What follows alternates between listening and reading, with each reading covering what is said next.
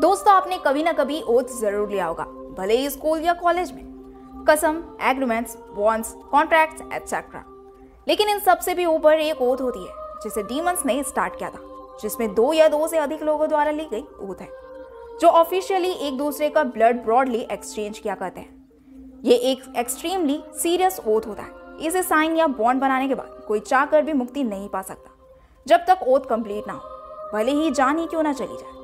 इसमें each party अपने अपने राइट पाम में कट लगाकर, आपस में हैंडशेक कर ब्लड ओथ को साइन करते हैं। तो कभी कभी शपथ करता एग्रीमेंट पेपर्स पर अपने ब्लड से साइन कर कंप्लीट करता है।